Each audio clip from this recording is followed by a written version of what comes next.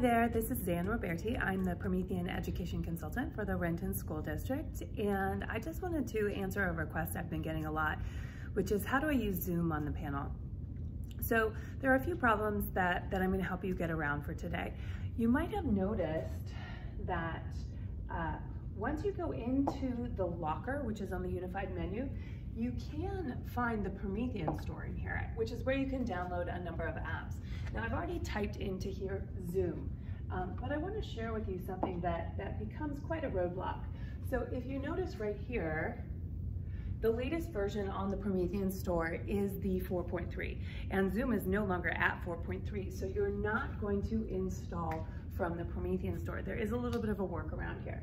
So what you're going to be doing is heading over to the locker, which is where you found the Promethean store, and you're gonna go through Chromium. So here, Chromium is saying, where do I wanna go? And I'm going to type in Zoom. I'm gonna make this full screen right here. Okay, so you're not even gonna click on the Zoom website from the search, you're gonna just choose download and you'll select download from Google Play, which is the first option on the top. And it's gonna direct you to the Promethean store. And now